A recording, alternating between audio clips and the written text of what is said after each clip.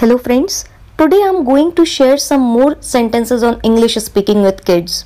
And here I would suggest to you all that please make it a habit of speaking these small sentences.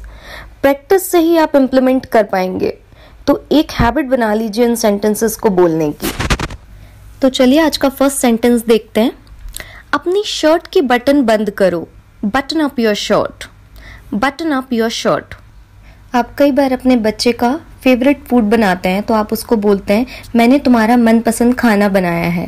तो आप उसको इस तरह से बोल सकते हैं I have cooked your favourite food I have cooked your favourite food reply में बच्चा आपसे पूछ रहा है कि क्या बनाया है। तो आप उसको ट्रिकी वे में बोल रहे हो, खुशबू से पहचानो।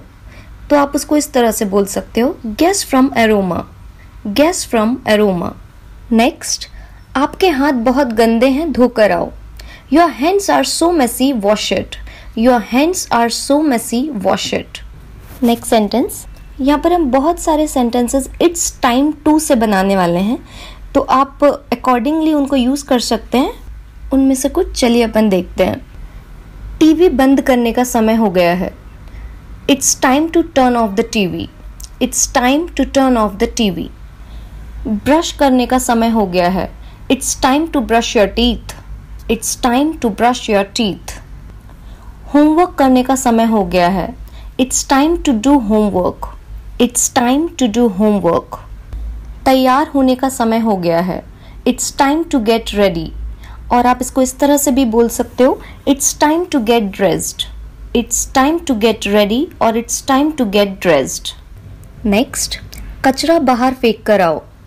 इसको आप बोल सकते हो, काफ़ी सारे तरीके हैं इसको बोलने के। Throw out the trash throw out the trash take out the trash take out the trash put out the bins put out the bins इन तीनों का मतलब सेम ही है, बस आपको एक तरीका चुनना है इनमें से और आपको उसी को यूज़ करना है। नेक्स्ट तुमने दूध गिरा दिया। You spilled the milk you spilled the milk तो यहाँ पर बच्चा जो भी गिरा रहा है, जूस गिरा दिया कॉफ़ी गिरा दी, या जो भी उससे गिर गया है तो आप मिल्क की जगह पे उस वर्ड को यूज़ कर सकते हो। Like you spilled the juice you spilled the juice तो अब जो दूध फैल गया है तो आपको अपने बच्चे से क्लीन कराना है उसको तो आप बोलोगे, इसे साफ़ करो।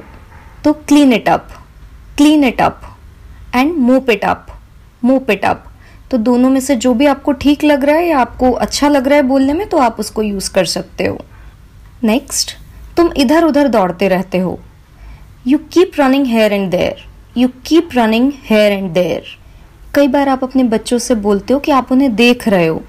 बिकॉज़ जो भी वो काम कर रहे हैं, ताकि वो उस काम को ठीक से करें। तो आप बोलते हो, मेरी नज़र तुम पर है। My eyes are on you my eyes are on you next क्या तुम पागल हो गए हो? Have you gone mad have you gone mad बहस मत करो। डोंट आर्ग्यू डोंट आर्ग्यू बहाने मत बनाओ। Don't make excuses don't make excuses कई बार बच्चे नाखून खाना सीख जाते हैं तो आप उनको बोलते हो, अपने नाखून काटना बंद करो।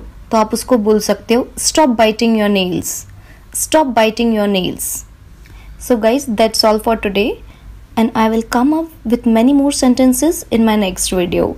So please stay tuned, like, share and subscribe to my channel.